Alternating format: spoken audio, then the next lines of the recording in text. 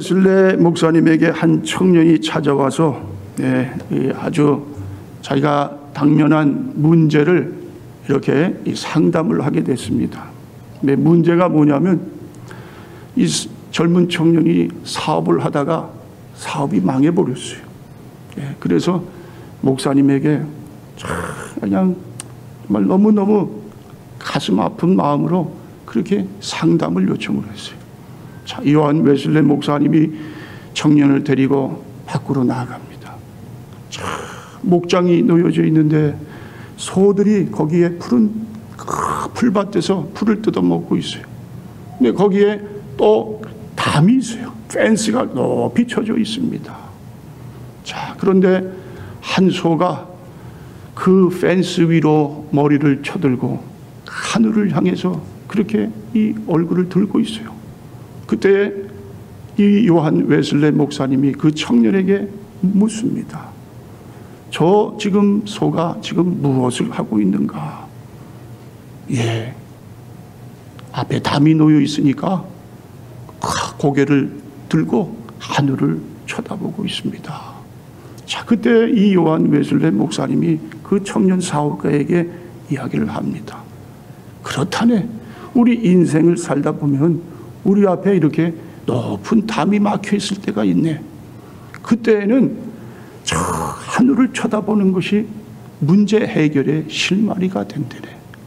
하늘을 쳐다본다는 건 뭐냐면 하나님을 찾는 거네, 하나님. 여러분 그렇습니다.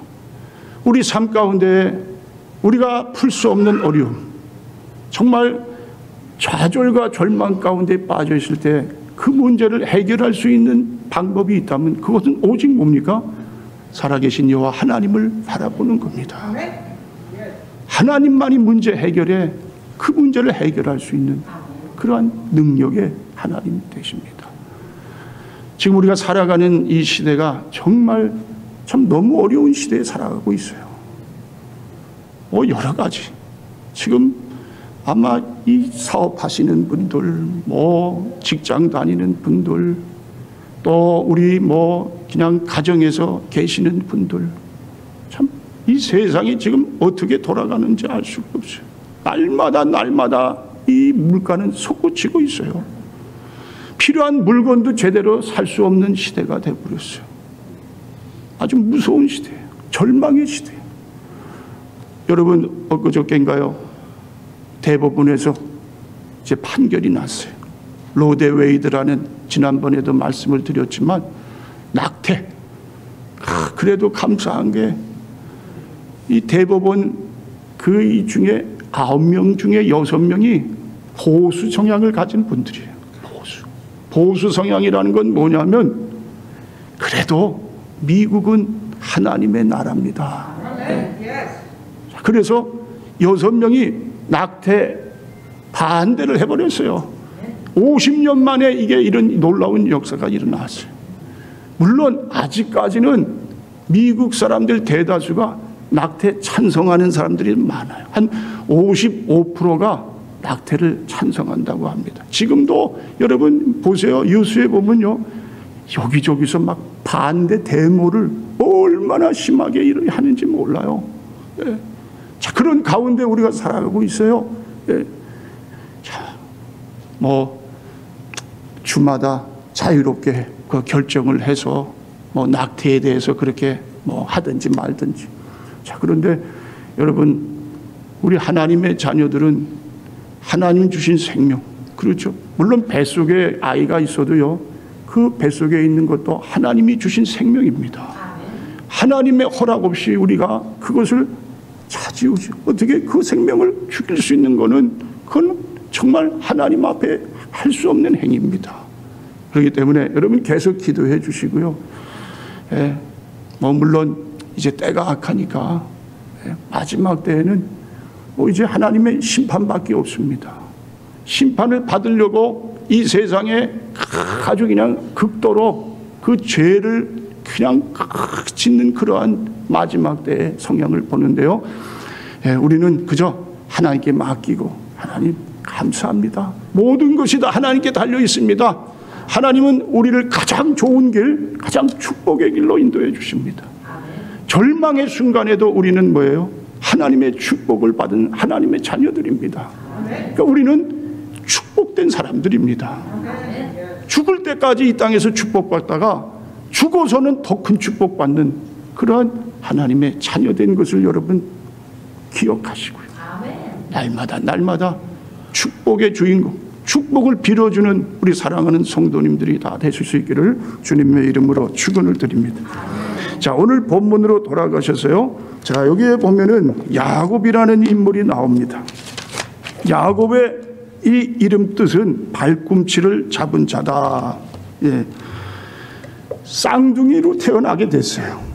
그런데 뱃속서부터 야곱은 좀 욕심이 있었나 봐요. 예. 먼저 좀 이 세상 밖으로 나가서 내가 좀 이 장자로서 그렇게 살아가리라. 그런데 어떻게 됩니까? 그게 안 되니까 그냥 먼저 나온 형의 발꿈치를 붙들고 나오게 됐어요. 발꿈치를 붙든다는 것은 약탈자. 네. 자, 아주 그냥 욕심과 그냥 이 인간적인 그러한 아주 이 뭐예요? 마음이 아주 그냥 큰 그러한 자다. 네. 자, 그러고 나서 어떻게 됩니까? 태어나서도요, 그 이 욕심이 없어지질 않는 거예요.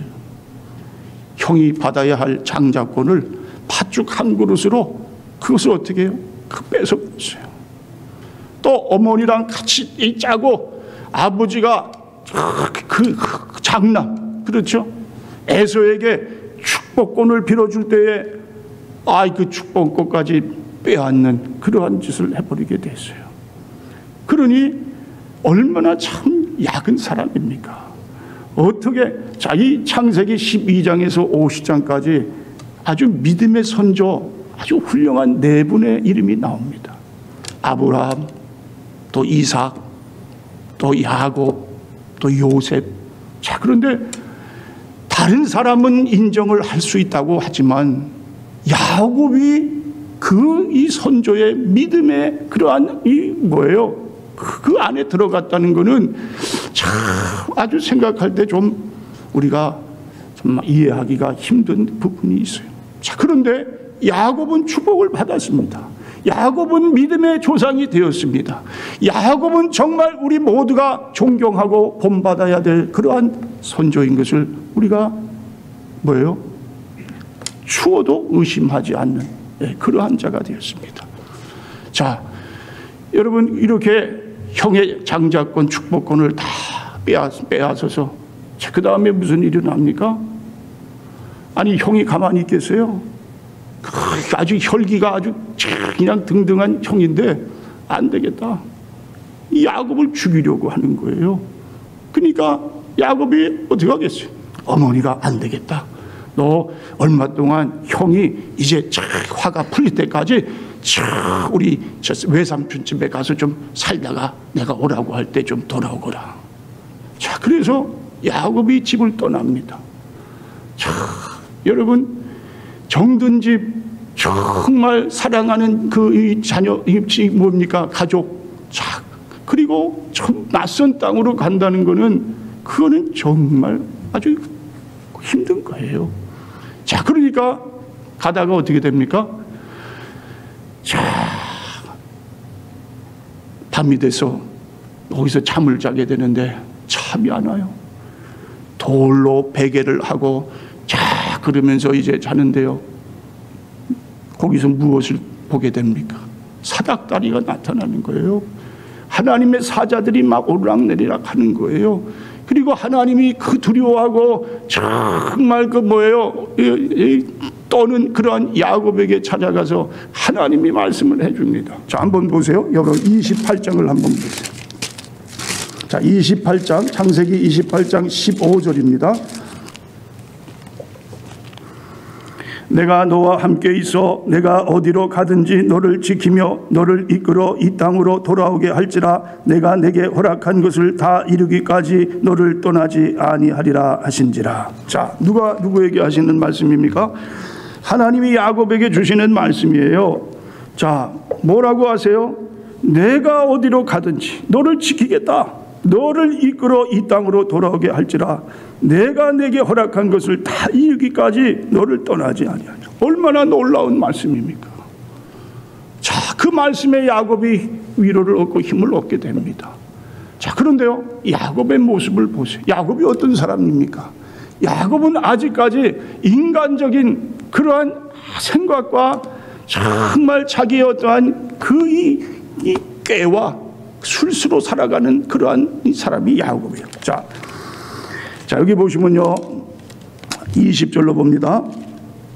야곱이 소원하여 이르되 하나님이 나와 함께 계셔서 내가 가는 이 길에서 나를 지키시고 먹을 떡과 입을 옷을 주시어 내가 평안히 아버지 집으로 돌아가게 하시오면 여호와께서 나의 하나님이 되실 것이요 내가 기둥으로 세운 이 돌이 하나님의 집이 될 것이요 하나님께서 내게 주신 모든 곳에서 10분의 1을 내가 반드시 하나님께 드리겠나이다 하였더라. 자, 여기 보면요. 자세히 한번 여러분이 좀 보시기 바랍니다. 야곱이 지금 하나님께 기도하는 내용인데, 자, 그 내용을 좀 보면요. 아, 자, 20절. 야곱이 소원하여 이르되 하나님이 나와 함께 계셔서 내가 가는 이 길에서 나를 지키시고 먹을 떡과 입을, 입을 옷을 주시어 내가 평안히 아버지 집으로 돌아가게 하시오면 여호와께서 나의 하나님이 되실 것이요. 자, 여기에 기도 내용을 잘 살펴보면요. 야곱의 아직도 깨어지지 못한 인간적인 모양이 나와요. 나에게 이렇게 해 주시면 조건을 거는 겁니다. 하나님하고 거래하는 거예요. 거래. 흥정하는 거예요. 여러분, 우리들 모습 속에도 하나님 앞에 이렇게 거래를 할 때가 있어요. 흥정을 해요. 하나님, 나에게 이렇게 이렇게 해주시면 내가 하나님께 이렇게 이렇게 해드리겠습니다. 그거는 뭡니까? 아직도 인간적인 그런 모습을 드러내는 거예요. 내가 하나님, 나에게 이러한 하나님께서 복을 주시지 않는다 해도 나는 여호와 하나님 정말 전지전능하신 창조주 그 하나님께 충성을 다하겠습니다. 하루하루 삶이 그저 하나님 뜻대로 사는 삶을 살아가겠습니다. 여러분 그렇습니다. 이게 진짜 신앙이라는 거예요. 하나님이 보실 때 하나님이 기뻐 받으시는 신앙이 바로 이런 신앙. 평범한 삶 가운데 그저 하나님을 그저 섬기는 거예요. 뭐 내게 무슨 큰 어떠한 뭐 이 뭐예요 축복이 없다 해도 그저 하나님 감사합니다. 범사에 감사합니다. 하루하루 사는 것만 해도 하나님과 동행하는 것만 해도 감사합니다. 자, 그런데요. 야곱은 어떻게 했어요? 야곱은 그렇게 하진 않았어요. 자. 그리고 이제 야곱이 삼촌 집에 갑니다. 라반의 집에 도착해서 그곳에 삼촌 밑에서 일을 했어요. 그런데요. 야곱도 얕고 인간적인 아직 그러한 사람이었지만 외삼촌인 라반은요 야곱의 머리 위에 올라간 사람이에요. 네. 야곱의 자기가 고백하는 이야기를 성경에 보면 아이 외삼촌이 내 이 월급 열 번을 변개했습니다.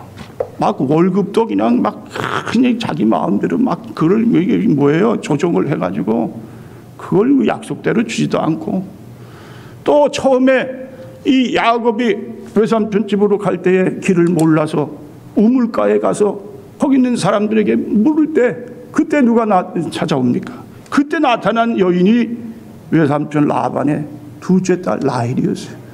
라헬을 보니까 와 너무너무 아름다운 거예요. 정말 미인이었었나 봐요. 한눈에 반했어요.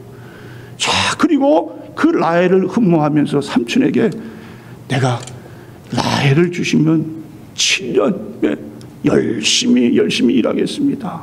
그런데 어떻게 됐어요? 7년 동안 열심히 일했는데 아 이제 결혼식을 올리고 나니까 결혼한 그 이 뭡니까 여인이 누구였어요? 첫째 딸 레아라는 여인을 맞은 거예요.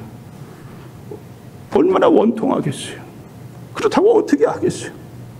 이제 엎질러진 물이. 그러니까 다시 또 삼촌한테 삼촌한테 또 이 라헬을 얻기 위해서 또 7년을 또 뭐 열심히 일을 하고요. 그리고 그러면서 그 삼촌 밑에서 얼마나 큰 혹사를 당하고 예. 너무너무 힘든 거예요. 견딜 수가 없는 거예요. 이 야곱도 뭐예요? 정말 더 무서워할 그러한 사람이 나타난 거예요. 자, 그러다가 야곱이 이제는 가정을 꾸리고 재산도 얼마나 많이 늘어나고요. 자, 그러니까 이제는 삼촌하고 살 수가 없다. 삼촌 식구들이 다 미워해요. 그러면서 이 야곱이 지금 뭐 우리 삼 우리 아버지 이뭐 재산을 훔치지 않았냐? 뭐 이, 무슨 이거 가축들을 훔쳐가지 않았냐? 자식들 외삼촌의 자식들까지도 다 미워해요. 그러니까 이제 야곱이 안 되겠다. 그때 야곱의 아내가 네 사람이었어요. 뭐 레아와 라헬 그리고 그 두 부인의 몸종들이 또 둘이 같이 아내가 됐어요. 그리고 그때 열한 뭡니까 아들을 낳게 됐어요. 막내 이 베냐민은 아직 태어나지 않을 때. 그러니까 이제 식구들을 다 데리고요. 그 다음에 이제 길을 떠나게 되는 거예요. 이제는 하나님이 가라. 예. 자 그리고 자기 고향집으로 가게 되는 거예요. 부모님께 이제 돌아가게 되는 거예요. 자 그런데요 문제가 생겼어요. 무슨 문제입니까? 자기 형, 쌍둥이 형이 아직도 그 집을 떠날 때 자기를 죽이기까지 했던 그 형, 그 형을 내가 어떻게 대할 수 있느냐? 예. 그것이 큰 그런 문제였어요. 그것 때문에 너무너무 두려웠어요. 자, 한번 보세요. 여러분, 오늘 본문 32장 7절에 보면 야곱의 마음이 나옵니다. 야곱이 심히 두렵고 답답하여 자기와 함께한 동행자와 양과 소와 낙태를 두 대로 나누고 자 야곱이 어떻게 했다고요? 심히 두려웠어요. 심히 두려. 자 어떻게 뭔가 해결점을 찾을 수 있는 길이 없어요. 그 형이 자기를 이제 어떻게 해요? 죽이기로 그렇게 작정을 하고 달려드는데 이제는 어떻게 할 수 없는 그런 상황. 그때 야곱이 하나님을 찾게 됩니다. 자, 하나님을 찾고 하나님 앞에 또 기도하는 거예요. 자, 그런데 기도해도 마음의 평강이 없어요. 자, 그리고 나서 야곱이 한 일이 뭐냐면요. 자기 종을 형에게 보냅니다. 그냥 보내는 게 아니에요. 가축들을 이렇게 올라가지고 또 자기의 종들 중에 같이 해가지고 형이 보내게 되는 거예요. 자, 그러면 형이 받아줄 줄 알았어요. 그 야곱의 마음속에는 아직도 뭐예요? 아, 돈이면 모든 문제가 해결될 거야. 돈 싫어하는 사람이 어디 있어? 자, 그리고 형도 그 돈 때문에 자기를 받아줄 줄 알고 자, 그런 마음이 야곱의 마음이 있었어요. 그 마음은 아직도 깨어지지 못한 마음이에요. 그 마음은 하나님을 온전히 의지하지 못한 마음. 자, 그런데 그 후에 무슨 일이 납니까? 종들이 돌아와서 야곱에게 하는 말이요. 아, 형이요. 400명의 군사를 풀어가지고요. 이제 이곳으로 그 군사를 뒤에 보내가지고 그냥 우리를 다 쓸어서 없애버리려고 그렇게 하고 있습니다. 자, 야곱의 생각이 틀렸어요. 야곱은 아직도 인간적인 술수와 그 인간적인 그러한 방법을 동원해 가지고 어떻게 해든지 문제를 해결하려고 했지만 문제가 도리어 더 커지는 것을 보게 됩니다. 자, 그랬더니 그 다음에요.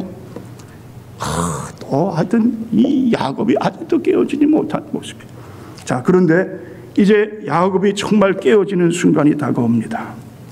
자, 그게 바로 약복 강가에서 이 하나님과 씨름하는 그러한 야곱의 모습이에요. 한번 보세요. 자, 24절에 야곱은 홀로 남았더니 어떤 사람이 날이 새도록 야곱과 씨름하다가 자기가 야곱을 이기지 못함을 보고 그가 야곱의 허벅지 관절을 치매 야곱의 허벅지 관절이 그 사람과 씨름할 때 어긋났더라. 자, 여러분 보세요. 이제 야곱이 그냥 뭐 어떻게 해서 자기 짐승들을 더 불려가지고 아, 이거 가지고 안 되나 보다. 그 형의 마음이 이 정도가 풀리지 않는구나. 그래서 더 많은 짐승들을 더 많은 그러한 이 뭡니까 그런 재산을 다 형에게 보내게 되는 거예요. 그리고 두 때를 나눠 가지고 먼저 한 때를 앞장 세우고 나머지 이두이두 번째를 뒤로 물러나게 합니다. 그것도 뭐예요? 야곱이 생각한 거예요. 혹시라도 형이 처음 보낸 그러한 무리들을 다 어떻게 해칠 때 나는 뒤에서 내가 뭐예요? 거리를 두고 시간을 둬 가지고 도망을 어떻게 하면 해서 살아날 구멍이 있을까? 그게 야곱의 생각이었어요. 자, 그리고 나서 야곱이 도저히 도저히 이제는 어떻게 해요? 정말 두렵고 떨리는 마음. 그리고 약복 강가에 혼자 이르게 되는 거예요. 자, 그런데 약복 강가에서 어떤 일이 일어납니까? 하나님의 사자가 나타난 거예요. 씨름을 하는 거예요. 밤새 씨름을 했다 그랬어요. 날이 새도록. 그거는 여러분 그냥 뭐 우리가 민속 뭐 씨름 뭐 해서 뭐 한 번 뭐 몇 분뭐 10분 이 정도에서 싸워가지고 끝나는 게 아니에요. 하여튼 밤새도록 씨름을 하는 싸움을 했다는 건요 그만큼 아주 녹초가 되는 거예요. 아주 죽을 때까지 그렇게 싸운 거예요. 자, 그리고 나서 하나님의 사자가 안 되겠어서 야곱의 환도뼈를 쳤다 그랬습니다. 환도뼈는 여러분 대퇴부예요. 허벅지. 허벅지 안에 있는 뼈다고요. 뼈. 이 뼈는요 말이 달려오다가 이 뼈에 부닥쳐도 뼈가 부러지지 않는 뼈가 인간과 인간의 뼈 중에 가장 튼튼한 뼈가 허벅지 뼈입니다. 그런데 허벅지 뼈를 쳐서 부러뜨렸어요. 그것은 뭐냐면요. 하나님께서 우리 인간에게 축복을 주실 때 인간이 축복을 받을 수 있는 그 비결이 있다면 자기를 어떻게 깨뜨리는 거다. 완전히 깨지지 않고서는 하나님이 준비한 그 축복을 하나님은 우리에게 주시지 않는다는 그런 의미입니다. 나를 완전히 하나님 앞에 내려놓는 거예요. 포기하는 거예요. 항복하는 거예요. 그럴 때 하나님께서 아, 그렇구나. 이제는 축복을 받을 때가 됐구나. 그리고 하나님께서 축복을 내요. 야곱이 보세요. 야곱이 하나님과 견주어 이겼다 그랬어요. 그 야곱의 이름이 그때 바뀌어지게 됩니다. 이스라엘로 바뀌어. 이스라엘이라는 이름의 뜻이 바로 하나님과 싸워서 이겼다 그런 뜻이에요. 어떻게 하나님과 싸워서 이길 수 있어요? 그럴 사람은 이 세상에 아무도 없어요. 그런데 하나님이 인정해 준 거예요. 야, 네가 이렇게 이제는 나한테 다 항복했구나. 다 내려놨구나. 다 포기했구나. 이제는 네가 할 수, 내 자신이 할 수 있다. 이것을 이제는 너가 어떻게 해요? 그것을 포기했구나. 그리고 하나님이 그때야 비로소 인정해 주는 거예요. 축복해 주는 거예요. 자, 여러분, 여러분 삶 가운데에 만약에 이 야곱과 같이 약복강가에 혹시 그렇게 서 있는 분들이 계십니까? 정말 더 이상 내가 할 수 없는 그런 막다른 그 골목에 서 있는 분이 계십니까? 정말 내가 삶에 너무너무 정말 어렵고 너무 고통스러운 그러한 나날을 보내는 그러한 분들이 계십니까? 그것이 바로 여러분의 약복강가라는 사실을 잊지 마시길 바랍니다. 그때가 바로 하나님을 만나는 그러한 순간입니다. 그때가 하나님이 여러분에게 주시고자 하는 기도 응답의 시간입니다. 축복의 시간입니다. 여러분, 그때는 어떻게 해야 됩니까? 하나님 앞에 다 내려놓는 거예요. 야곱이 이제 깨어지는 순간이에요. 그저 그 전까지만 해도 자기가 하면 된다고 믿었어요. 자기 자신을 너무너무 믿었어요. 그런데 이제는 다 내려놨어요. 그러니까 하나님이 찾아오셨어요. 그리고 그 약복강가를 분이엘이다. 그렇게 이름을 짓게 됩니다. 한번 보세요. 자, 29절로 한번 볼까요? 야곱이 청하여 이르되 당신의 이름을 알려주소서 그 사람이 이르되 어찌하여 내 이름을 묻느냐 하고 거기서 야곱에게 축복한지라 그러므로 야곱이 그곳 이름을 분이엘이라 하였으니 그가 이르기를 내가 하나님과 대면하여 보았으나 내 생명이 보존되었다 함이더라. 그가 분이엘을 지날 때에 해가 돋았고 그의 허복다리로 말미암아 절었더라. 그 사람이 야곱의 허벅지 관절에 있는 둔부에 힘줄을 쳤으므로 이스라엘 사람들이 지금까지 허벅지 관절에 있는 둔부의 힘줄을 먹지 아니하더라. 자, 야곱 강가에서 하나님을 만났습니다. 자, 그리고 야곱이 그곳 이름을 분이엘로 부르게 됩니다. 분이엘이라는 이름의 뜻이 하나님의 얼굴이라는 뜻입니다. 얼굴. 하나님을 대면해서 하나님 얼굴을 봤다는 거예요. 하나님 얼굴을 볼 수는 없어요. 하나님은 어떤 형체가 있으신 분이 아니에요. 누구도 하나님은 볼 수 없어요. 근데 성경에는 하나님의 얼굴에 대한 이야기도 나오고 하나님의 손에 대한 이야기도 나오고 자 그런 이야기입니다. 얼굴이라는 건 뭡니까? 얼굴은 하나님이 임재해 주셨다는 거예요. 하나님의 사랑, 은혜, 능력. 하나님의 얼굴로 여러분에게 이렇게 여러분의 얼굴을 보면 여러분의 삶에는 어떻게 해요? 문제가 해결되는 거예요. 하나님의 사랑, 하나님의 능력이 내게 임하는 거예요. 그리고 와서 완전히 달라지는 삶이 되는 거예요. 오늘 여러분 야곱 보세요. 자, 분해를 지날 때에 해가 돋았고 이 해가 돋았다는 건 뭐예요? 어둠이 다 물러갔다는 거예요. 나의 모든 문제가 다 없어졌다는 거예요. 나의 마음속에 있는 절망, 근심 걱정, 나의 마음속에 있는 모든 질병들. 자, 이것들이 어떻게 해요? 다 떠나간 거예요. 하나님의 얼굴을 뵈니까 그러한 문제들이 다 없어지는 것을 이 야곱이 친히 체험하는 그러한 순간입니다. 그러니까 여러분, 오늘 여러분 삶 가운데에 약복 강가에 그러한 어려운 일들이 있으시면요. 오늘 야곱처럼 하나님 앞에 나아가셔서 여러분이 지셔야 돼요. 이기려고 하면 안 돼요. 항복하셔야 돼요. 여러분 자신을 포기해 내려놓으셔야 돼요. 그리고 전적으로 하나님께 맡기고 하나님 나를 친히 인도해 주세요. 내 생각, 내 걸음 걸음 모든 나의 행동까지 하나님께서 다 책임져 주세요. 아무것도 염려하지 말라. 모든 일에 기도와 간구로 너희 구할 것을 감사함으로 아뢰라. 그리하면 지각에 뛰어난 하나님의 평강이 어떻게 해요? 우리 마음과 생각을 지켜주신다 그랬어요. 여러분 아무것도 염려하지 마시기 바랍니다. 여러분 마음속에 어떠한 어두움이 있거나 어떠한 우울증, 절망, 질병 다 하나님께 던져버리세요. 하나님은 여러분의 문제를 더 하나님은 마음 아파하시는 분이 하나님이십니다. 하나님은 여러분의 기도를 오늘도 들으시고 무슨 기도를 할까 정말 하나님의 마음에 깊은 관심을 가지고 여러분을 향하고 계신 하나님이십니다. 여러분 우리 모두가 이런 하나님을 우리 마음속에 모시고 여태까지 내가 살아왔던 거 야곱과 같은 삶이었다면 하나님 용서하세요. 어리석었어요. 부끄러웠어요. 이대로 앞으로 계속 살다가 난 절망이에요. 난 하나님 앞에 설 자신이 없어요. 부끄러워요. 자, 이제는 하나님 앞에 다 내려놓고요.